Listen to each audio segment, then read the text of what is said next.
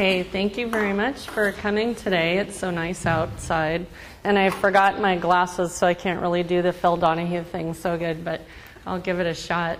Um, as she said, as Cindy said, I'm Samia Savell. I'm the district conservationist for Southeast Alaska for the USDA Natural Resources Conservation Service. And I'm going to uh, talk a little bit about high tunnels today. I'm going to, um, I have to leave early because I have a class that starts at 1 in the valley. So I'll talk mostly from an NRCS perspective on, on high tunnels and our high tunnel pilot program. And I'll let um, Susan kind of talk about the allure and romance of using high tunnels for gardening in southeast Alaska. And if you, um, if you didn't already see, on the back table there is a sign in sheet if you want me to email you some information.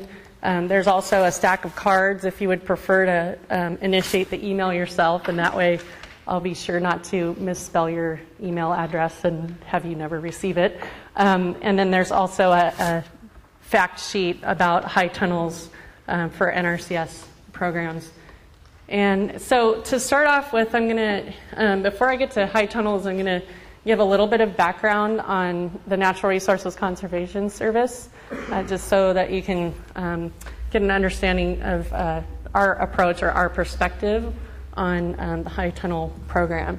So can you go ahead and advance?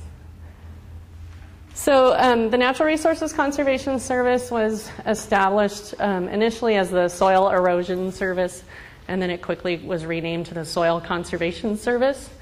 And that was established in the early 1930s during the Dust Bowl era when there was a big drought in the West and uh, there was literally soil from the West being blown around the country and um, all the way to Washington, D.C. And so um, the Soil Conservation Service was established to assist farmers and ranchers with uh, implementing best, best management practices to conserve and protect soil resources. And that's uh, what we uh, did for about 60 years. Um, and then in the mid 90s, we changed our name and our scope to the Natural Resources Conservation Service and included all natural resources and trying to help non federal landowners address natural resources concerns associated with agricultural production. So we're governed and funded by the Farm Bill, which is reauthorized by Congress every five years. And our approach to agriculture is not so much to help people produce food, but really to help, again, address natural resources concerns that come up um, as a result of producing agricultural products. So we do provide planning and technical assistance to address those concerns to um, primarily non-federal landowners, but we do also work with other um, government and public land agencies as well, and I'll talk a little bit more about that in a minute. Go ahead. So our clients and partners um, include agricultural um, operators like this farm up in Delta, and um, subsistence users, such as these folks out west who are actually building an ATV trail to access traditional subsistence gathering areas. Um, forest producers uh, is a lot of what the work that I do in Southeast Alaska um, because most of the private land in Southeast is owned by Native corporations. So um, the bulk of my work really is with Native corporations on second growth management. And then um, native entities, individual landowners, and again, we do partner with um, other government agencies um, and tribal entities. So this is a picture actually of Upper Lemon Creek, uh, where I helped develop a sediment transport and hydrologic assessment of Lemon Creek with the city and borough of Juneau. And then we work with nonprofit organizations. Um, these folks are doing a stream bank rehabilitation project on Sawmill Creek and Haines, and other resource agencies and even economic development councils. So it's um, like an inch deep and 45 miles wide. so um, and you can move on to the next slide. So the, we have a variety of services and programs that we provide, including um, soil survey And we do um, soil surveys throughout the state, mapping soil units um, to help with resource and uh, resource planning and community development and anything related to soil, which is like pretty much everything is related to what's underneath your feet. So, um, and then we do also have snow survey, which we do throughout the state to monitor snowpack um, at a variety of different uh, sites throughout the state, um, and then technical assistance with landowners, and, and then we have cost share programs that we can help offset the cost of implementing best management practices. And um, the one that I'm going to talk about mostly today is um, the Environmental Quality Incentives Program, which is what the High Tunnel program is, is funded through. Um, so, yeah, we can go. And so, again, most of the work that I do in Southeast Alaska um, involves working with native corporations. Um, it's, I cover everything from Yakutat to Metlakatla, so and I'm a one person office. Um, so if you don't hear back from me, then feel free to email me again or call me. um, but uh, I help a lot with um, support and initiation of watershed councils, uh, more so when I started um, 10 years ago than, than I do now. But um, still work with watershed councils uh, throughout the region helped initiate and um, continue to participate in the local cooperative weed management area and um, provide technical assistance. And this is just, you know, if you're an individual landowner and you have a resource concern, you can contact me. I don't necessarily know the answer, but I can usually figure out where to get that answer and where to get you the resources um, to to help you fix it yourself, basically um, whether it's to do with water quality or um, or plant health and vigor on your property or um, a variety of different uh, water, uh, natural resource issues. And I've had uh, several fish passage and wetland enhancement, riparian improvement um, projects throughout the region as well, and a smattering of high tunnels so far. Um, and again, with the forest management, I have more than 30,000 acres of second go treatments with native corporations since 2006 that are either completed or underway. So that's the bulk of, that's like the five cent tour of, of uh, the projects that I do in the Southeast. And so we'll move on to what you came here for today, which is high tunnels. And um, and I'll go through just a brief definition and then I'll talk about the NRCS high tunnel program. Um, so, from, from, from our perspective, a high tunnel is a seasonal covered structure that's used to extend the growing season. And it's intended for use um, over the ground. So, crops that um, are grown in the ground or in established raised beds. So, it's not a greenhouse because greenhouses is where you grow um, food in containers or on tables. Um, so this is the difference between a green when we use the term greenhouse and when we use the term high tunnel. Um, a high tunnel, we're talking about plants that are grown directly in the soil profile. Um, and at least um, six foot high in the center. So the low um, hoops or row covers are, are not considered high tunnels. So that's the basic, um, the basics of high tunnel definition for, for our purposes. We can move on to the next one. So just to reiterate, our programs, the NRCS programs, are oriented towards assisting people address natural resources concerns related to agricultural production. Um, we're not really in the business of, of actively assisting with production. However, this, you know, you can't, you can't really deny that this helps people grow food. And this is something I think that literally came top down um, from the White House trying to encourage people to grow food locally. And it was uh, an initiative that um, sort of didn't quite fit with a lot of the other USDA programs.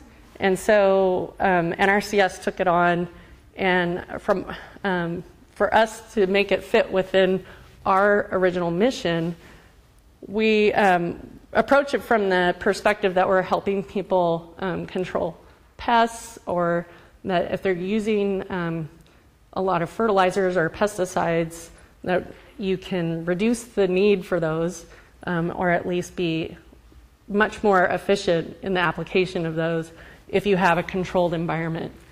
Um, and so that's how we kind of approach it from the you know resource concern perspective. And um, and of course with watering efficiency, which is maybe not so much of a concern here, although there are times when it's really dry, and of course, and, and in some cases, you know, a high tunnel can can really help um, from having your your uh, garden turn into a, a, rice paddy at some point during the growing season. And we, um, at first, we were requiring people to also implement associated practices um, with the high tunnel, such as nutrient management or pest management or irrigation water management. Um, which is we also provide some cost sharing on those because they do require um, some record keeping and ongoing maintenance. Um, but uh, now we, they're not necessarily required, but they're highly encouraged. And when we do take applications for the EQIP program, um, they're ranked according to a, a, variety of different factors, but one of which is how many practices you're going to implement. And so if you only just have a high tunnel on your application, it ranks lower than somebody's who might include a high tunnel and cover crop and nutrient management um, or something like that. So, so uh, it's, it's something to keep in mind as you go through the application process if you're interested in applying. So we can move on to the next one. So the, the EQIP program that I referred to is called the Environmental Quality Incentives Program. And uh, we just refer to it as EQIP, and it includes uh, funding for high tunnels through 2013, which is the year that our farm bill will be um, reviewed and hopefully reauthorized by, by Congress. But it is ele- an election year, so we'll see how things go. Um, but it is a cost share program. It does not necessarily cover the entire cost of a high tunnel structure. Um, and or shipping it here and or installing it. So um, it's a cost share program. It is reimbursable, so you have to be able to um, purchase the structure and install it and then get paid back for it after it's been certified by us to meet uh, our specifications. And then it is considered a taxable benefit. So, and, and that's always something I try to tell people up front so that they're not surprised the following year when they get their um, IRS form and, or, you know, their taxes and, and suddenly, you know, they've got this extra thing that's, ta- that's tacked on to their taxable income.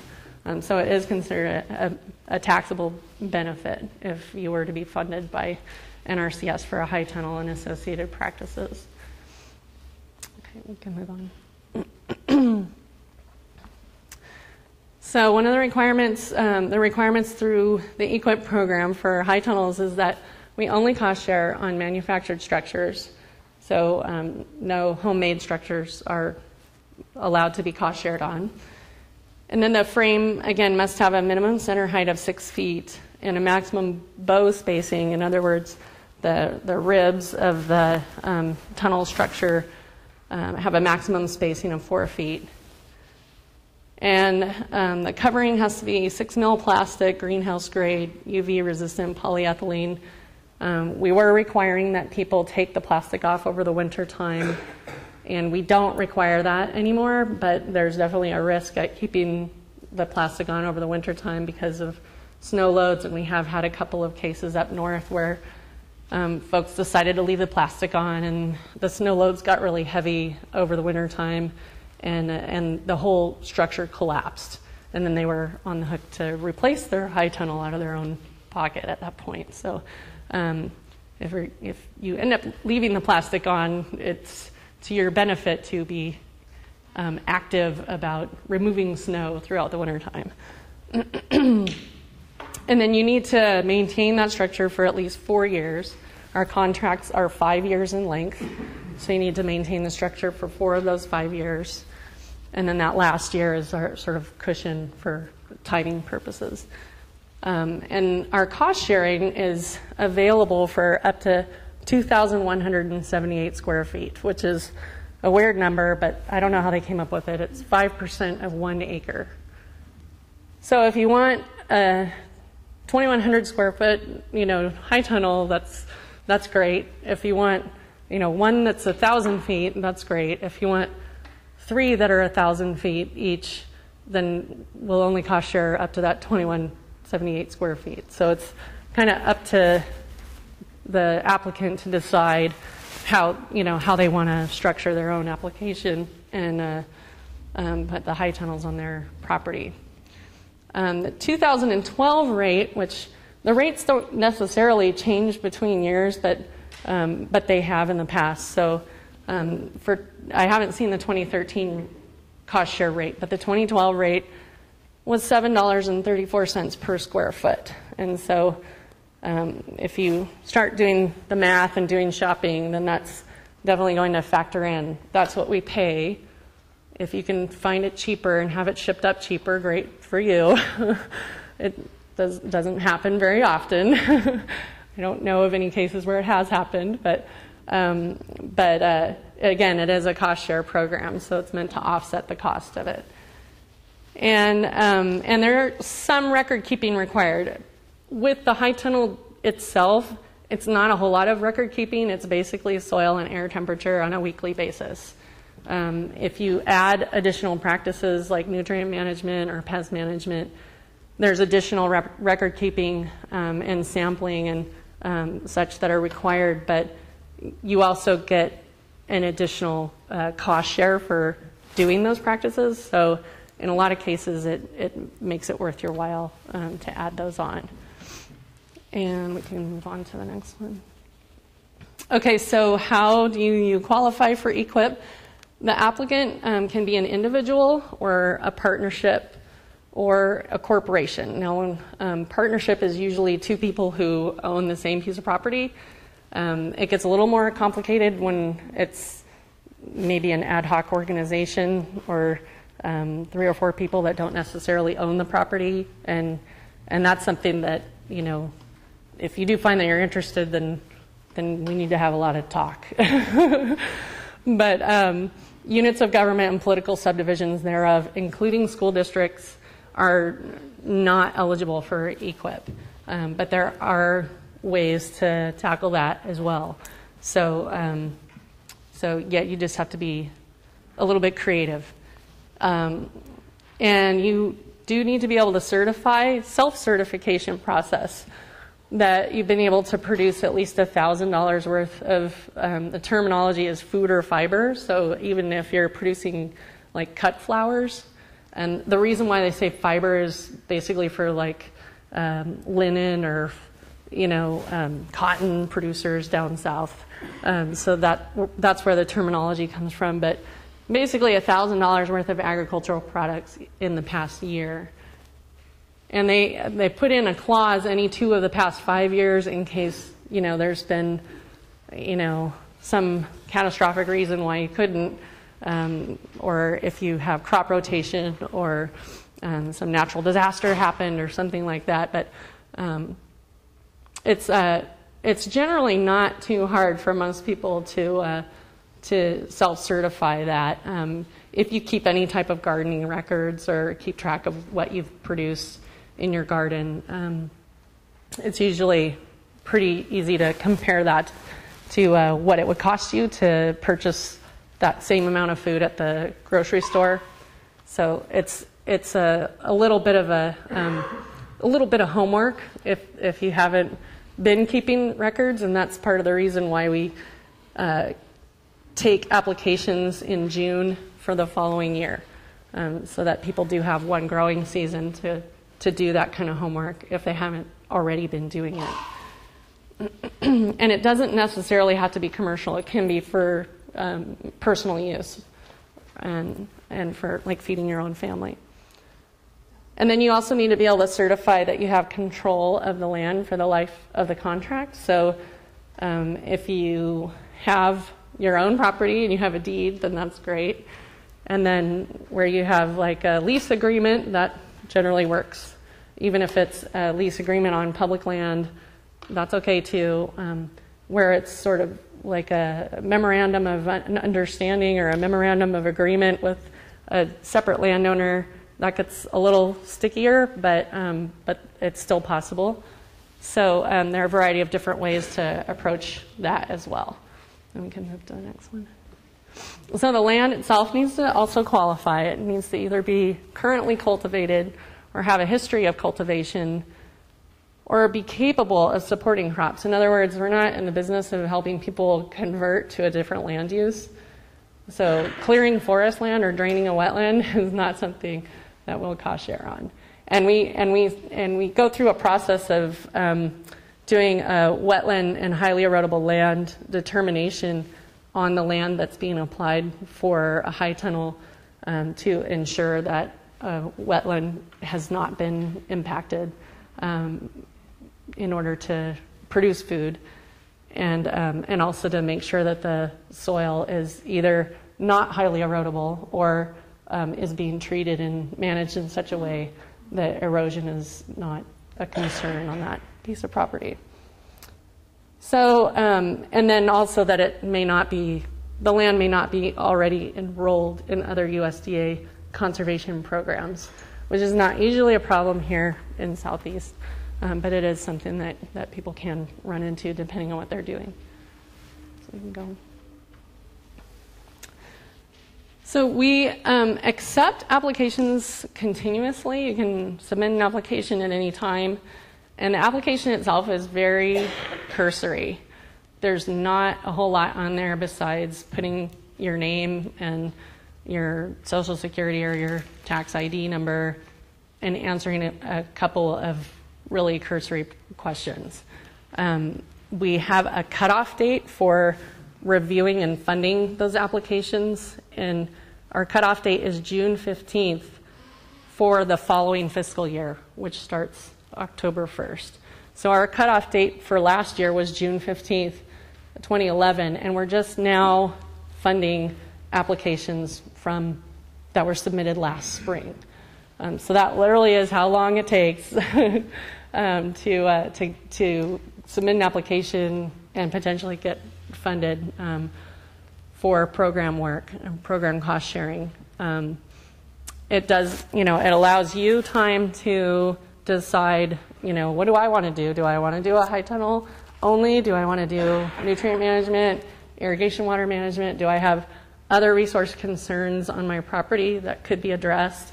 And it gives gives us the growing season to work with you and develop a full project proposal that's then um, submitted in the fall, and then we wait for Congress to um, allocate funding to NRCS Alaska, and then our state office reviews all the applications that come in and um, begins selecting applications for funding, usually in um, the winter of that that following year. So it's June 15th is the cutoff date, and then working on your full project proposal throughout the summer. Um, and then usually by December or January, the state office is reviewing those applications, and then March and April is usually when they're uh, awarding funding.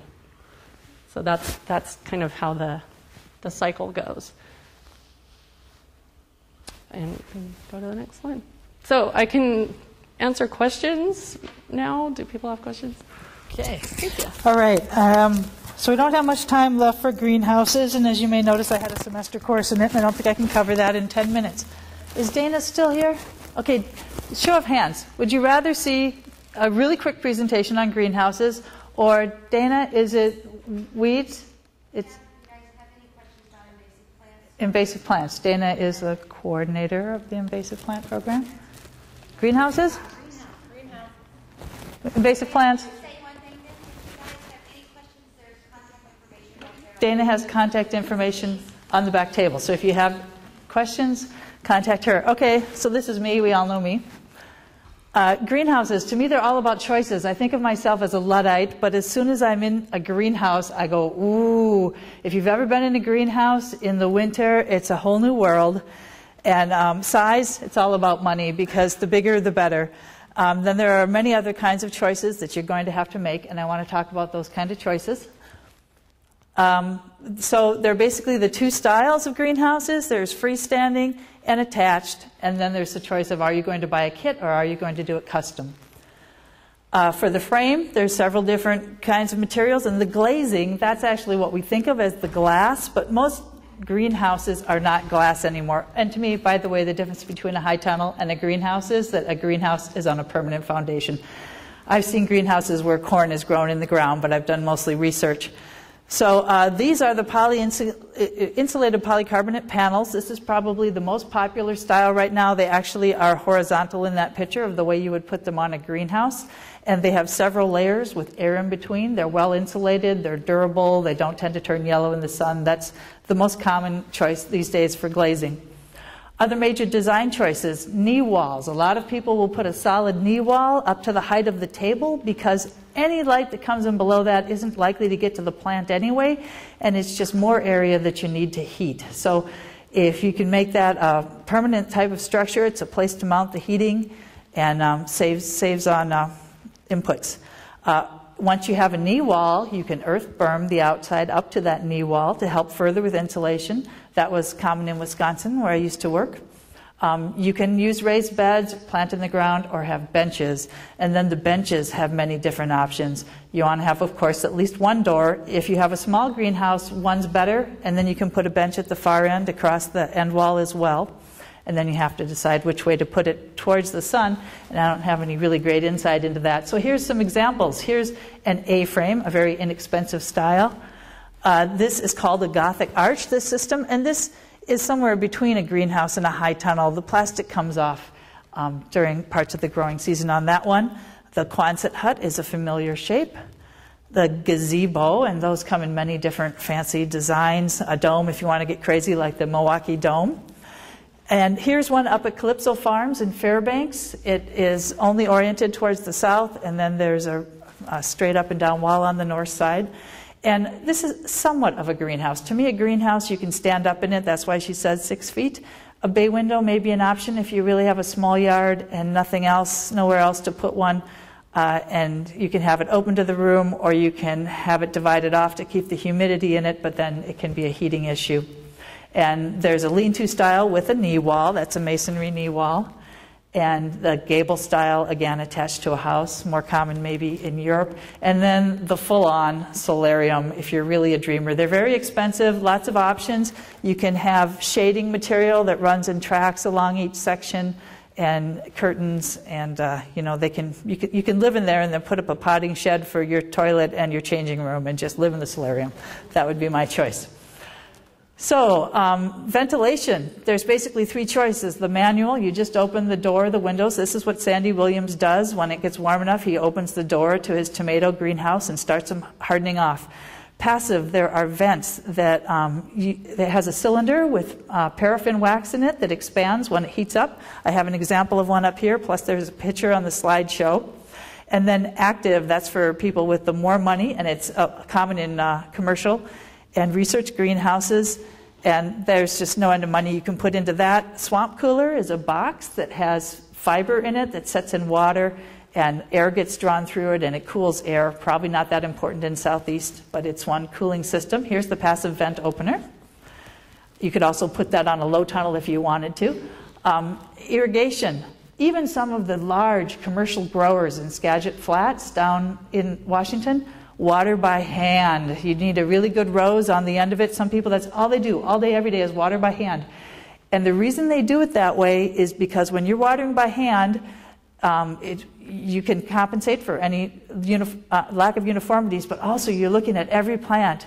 When diseases happen in the greenhouse and pests come in, it happens very quickly. And when you're watering by hand, you have a lot of time to notice that stuff. And so a lot of the commercial growers will go with that.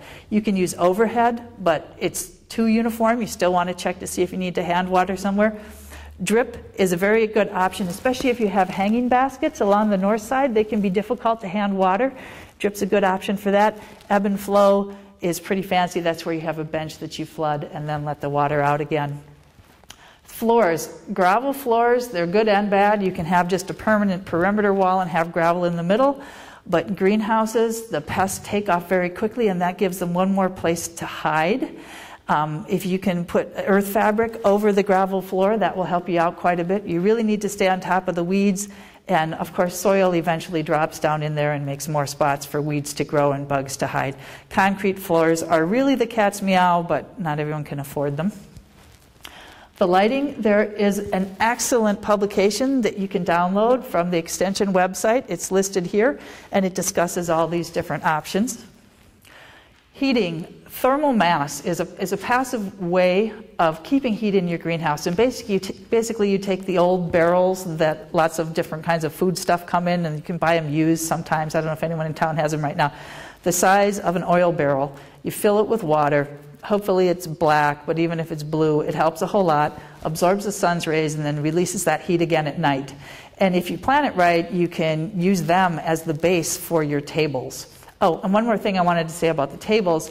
If you have a larger greenhouse, you don't want too much space. The space is really expensive and it's at a premium. And if you don't want too much space in alleyways, you have tabletops that are six feet wide. You put them on a permanent base that's four feet wide and you set them up so they roll on pipes, and you have only one alley, and then you roll the tables whichever way you need to to get between them. And that's one way to save a lot of space in a larger greenhouse. So then there are, of course, other options too for heating. Animals, pests, it's good and bad. They all want to be there because it's the best spot on earth and they explode very quickly. Their numbers explode very quickly, but it's also in some ways easier to control them. If you want to use the chemicals or some sort of bomb, you have a contained space to do it in. Everything's fairly concentrated. It's a comfortable place to be. If you're going through and picking off bugs, it's not like kneeling on the ground out in the rain. And then I've seen several different options with livestock. In Elk City, Idaho, very, very cold place. I've seen people raising rabbits underneath the tables in their greenhouse. And of course, the rabbits eat the greenhouse scraps. They use the manure from the rabbits in their compost, and the rabbit bodies help to some degree to heat the greenhouse. Fowl, like guinea hens, are small enough to be in a greenhouse. And then for ornamental choices, I've seen fish that have actual tube where they can go inside a pond in the house, out to the greenhouse, out to the outside, and doors where you can close them in between if you really want to have fun with your greenhouse. And this, I didn't want to fail to mention this. This is out of a university publication.